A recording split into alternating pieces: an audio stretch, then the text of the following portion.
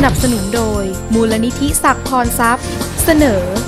โครงการเสริมการเรียนรู้ทางการศึกษาขั้นพื้นฐาน ข้อสอบ o n e t ระดับชั้นมัธยมศึกษาปีที่ 3 ข้อ 21 นะคะ โจทย์กำหนดว่าจำนวนครูในโรงเรียนแห่งหนึ่งมีทั้งหมด 200 คนจำแนกตามวุฒิการศึกษาในปี 2553 ตามแผนภูมิวงกลมดังนี้นะคะ ซึ่ง ตามแผนภูมิวงกลมเนี่ยเราก็จะพบว่า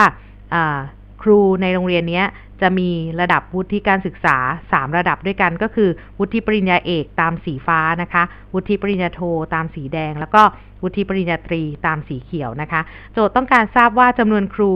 ที่มีวุฒิปริญญาตรี มากกว่าจำนวนครูที่มีวุฒิปริญญาโทกี่คนนะคะ จากแผนภูมิวงกลมจะเห็นว่าแผนภูมิวงกลมนี้แสดงอยู่ ในลักษณะของร้อยละนะคะ ร้อยละก็คือการเทียบด้วยร้อย ในเมื่อปริญญาตรีเนี่ย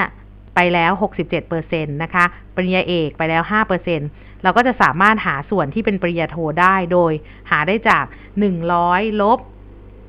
67 นะคะ แล้วก็ลบ 5 นะคะ ก็จะได้ส่วนนี้เนี่ยเป็น 28%นะคะ เมื่อเราทราบแล้วว่า จำนวนครูในที่มีวุฒิปริญญาโทเนี่ยมีอยู่ 28%เราก็จะสามารถหาได้ว่าจำนวนครู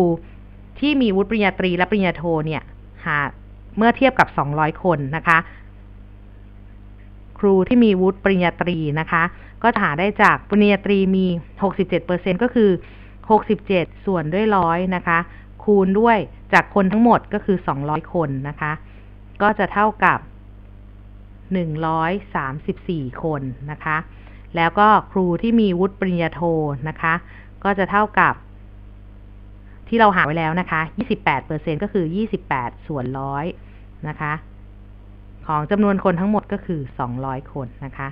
ก็จะได้เท่ากับ 56 คน โจทย์ต้องการอยากทราบว่าจำนวนครูที่มีวุฒิปริญญาตรี มากกว่าจำนวนครูที่มีวุฒิปริญญาโทเท่าไหร่นะ เราก็นำ จำนวนที่เราหาได้นะคะ ก็คือ 134ลบ56 ซึ่งก็จะเท่ากับ 78 ซึ่งตรงกับข้ออตัวเลือกข้อที่ 4 นะคะ